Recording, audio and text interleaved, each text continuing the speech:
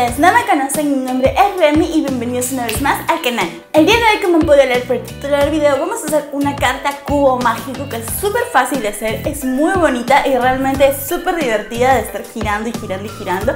Así que espero que les guste mucho esta idea y si es así no se olviden que pueden darle deditos arriba, compartir y por supuesto suscribirse al canal. Pero para no hacer más larga esta introducción vamos a ver el tutorial. Sorprende a esa persona especial este 14 de febrero. Vamos a comenzar con nuestra cartulina base. La mía mide 30 por 30 centímetros. De ella vamos a sacar dos rectángulos de 15 por 21.5 centímetros. Cuando los tengas, toma uno para empezar a trabajar. Vamos a hacer marcas a los 5 y 10 centímetros arriba y abajo.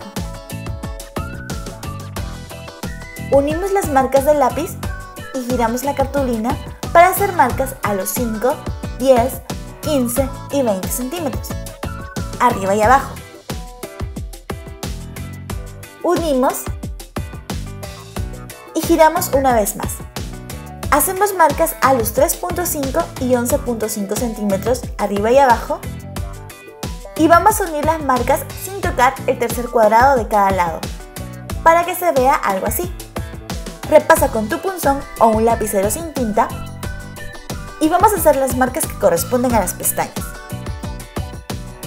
Para todo lo demás que estoy marcando lo podamos cortar y poder doblar sin ningún problema. Vamos a armar la caja poco a poco y con cuidado para que no se nos manche el pegamento por ninguna parte. No te preocupes por el armado, ya que echando pegamento en las pestañas la caja se va a armar solita. Cuando tengas lista tu caja, o mejor dicho tu cubo, vamos a hacer 7 más. Vamos a colocar 4 arriba y 4 abajo para comenzar a unir los cubos. Presta atención para no cometer ningún error. Toma una cinta gruesa y vamos a unir dos cubos de manera vertical, o sea, uno sobre el otro. Vamos a voltear para que la cinta esté en la mesa. Abrimos y ponemos cinta en esta parte.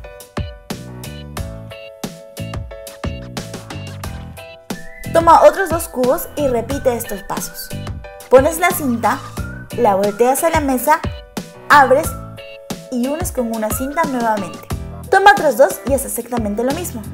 Pones la cinta, la volteas a la mesa, abres y unes con cinta nuevamente. Toma los dos últimos y repite los pasos. Pones la cinta, la volteas a la mesa, abres y unes con cinta nuevamente. Ahora vamos a acomodarlos de la siguiente manera. Los cubos de los extremos con la cinta vertical y los del medio con la cinta horizontal. Coloca los cubos de los extremos con la cinta hacia abajo y los del medio giros una vez, justo como se ve en el video. Unimos los extremos con el cubo del medio más cercano de manera horizontal.